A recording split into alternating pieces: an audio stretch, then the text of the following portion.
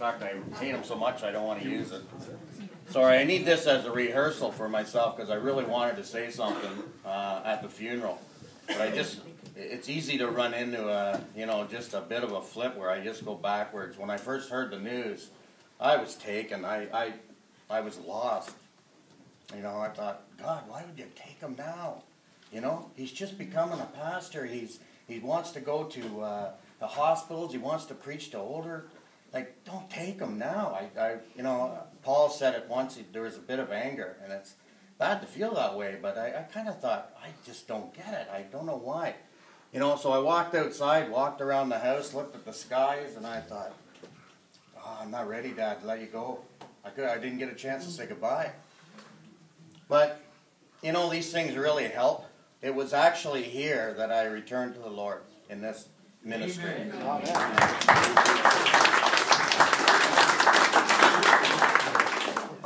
Dad always encouraged, um, wanted me to come down, and I, I, you know, there was a time where Dad and I we weren't we weren't spending too much time together. We seen odds. I let it. Uh, I kind of let the enemy just, you know, have the way where it, I didn't really. I could I could do it without him.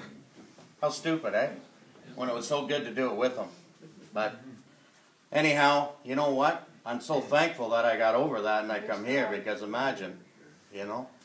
Um, one day I, we were living in Oakwood and uh, my dad said to me, There's a guy down the road just from Oakwood. I'm going up there. Great big guy. I don't know if that's why he was trying to say to me. you know, you, you, two should get along, I guess. He's a great big guy. I thought, oh, all right. I thought, I said to my wife, Well, he's probably going to come up here and ask me to come to Monday night. I said, what am I going to say now? You know, what excuse? I've used them all. See, so anyway, Dad comes up and he says, I wouldn't mind you just talking to this guy. His name's George Jenkins. Boy, I didn't realize how powerful that man was until I. So I said, all right, if that's all, he's in Oakwood. You know, there's only about 15 people that live in Oakwood. I just have to go next door possibly and see this this fella, and he's not going to bug me about Monday night. Perfect. Yeah, that worked out. I went. I went to, uh, and, uh, and you know, he says, George, want to introduce you. Very proud father of my son. Um, you know, I was wondering if you'd say a few words. Uh, he's going through this battle and this battle, and uh, and anyhow, so talking to George, there was something that just hit me. He's just straight. You know, I've been fighting to stay away uh, for for a while, and I know there's something that just said, let it go. It's time now to come and uh, and be, uh, you know, to, to get back with the family and uh, and I. So it wasn't Dad that asked me to come to Monday nights. It was George. they they had this plan. They had to. Was, you should have seen how it worked out. So I was talking to him and I convinced. So I prayed with Dad, with George. George come and held on to me, and I said, "Well, before I do this, because I really wanted to come back, I said." Dad, I need you too. And right then I could just feel, Amen. today's a new day. Amen. Right? So, the three of us prayed, and then George looked at me and said, You planning on coming tonight? You know, had to be a Monday. He says, um, You better be. I looked at him, and he had a good few pounds on me, so I thought, All right, I'll come. so from then, I realized how special this kind of group was. I met all kinds of friends that uh, Dad talked about when he first moved to Omemee. Paulo was one of the thing, one of the guys that Dad talked about. Down the road, coming and walking with the dog, and I said, "I know, I know the family. Don't worry, I know Paulo." You know, um, the next person that he was would bring up, Carlton. Uh, and then he wanted to tell me about Donnie. Well, I knew Donnie. Everyone in Omemee, he owns Omemee, actually.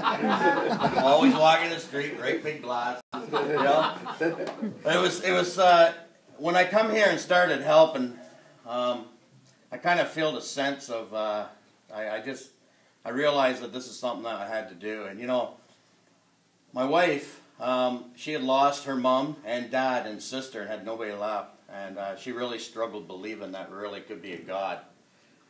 And Dad worked on her and worked on her and worked on her. And I thought, oh, you've got one fight. so this is going to be good to step. I'm stepping back. I'll watch it, but I'm stepping back. And you know, it's funny because it was George Jenkins again at the Coronation Hall when Kim gave her life to God too. And I just, when I look back, it, it's it's because of the people here. When I when I uh, one of the things that one person I really want to thank is actually Suzanne.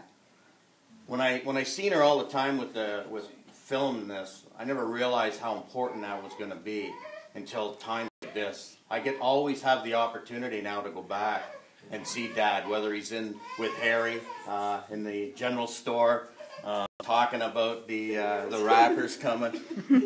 But uh,